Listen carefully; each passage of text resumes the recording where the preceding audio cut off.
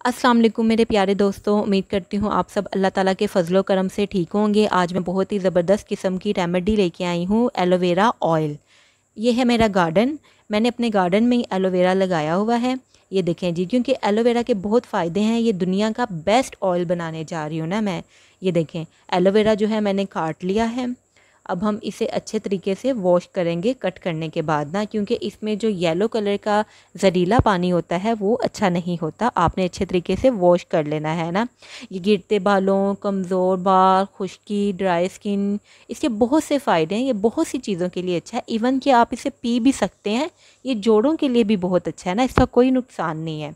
अब देखिए मैंने इसके कांटे जो हैं वो काट लिए हैं। हम इस तरह से एलोवेरा को दो पीस में कट कर लेंगे। आप कोई भी स्पून लेके और इसके जो अंदर जो जेल है वो आप इस तरीके से निकाल लेंगे। ये देखें कितना आसान है ना, ये बाज़ार से बहुत ही महँगा मिलता है ना। तो आप घर में ही ट्राई कीजिएगा ना ये। इन इससे आपके बाल मज़बूत होंगे, घने होंगे, लंबे होंगे। इन सात दिन में आपको इसका जो रिज़ल्ट है वो नज़र आएगा। ये देखें जी। ये जो हमने सारा पल्प जो है इसका निकाल लिया है। इसे आपने ज़ाया नहीं करना, ये आपने स्किन पे अच्छे तरीके से रब कर लेना है।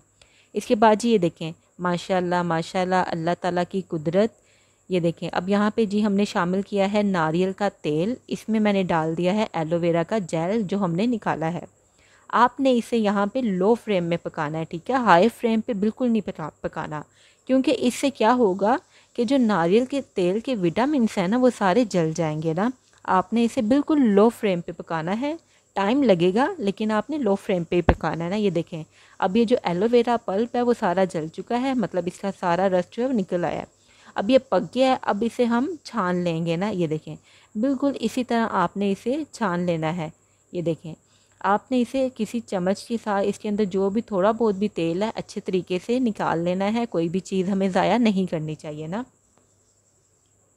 अगर आप ये एक दफ़ा इस्तेमाल कर लेंगे ना तो आप हफ़्ते में तीन से चार दफ़ा मालिश करवाएँगे। आप हफ़्ते में दो तीन दफ़ा मालिश करवाएँ और फिर आप सात दिन के बाद रिज़ल्ट देखिएगा। इन अच्छा रिज़ल्ट आएगा।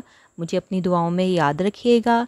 मेरे चैनल को लाइक, सब्सक्राइब और शेयर ज़रूर कीजिएगा ना।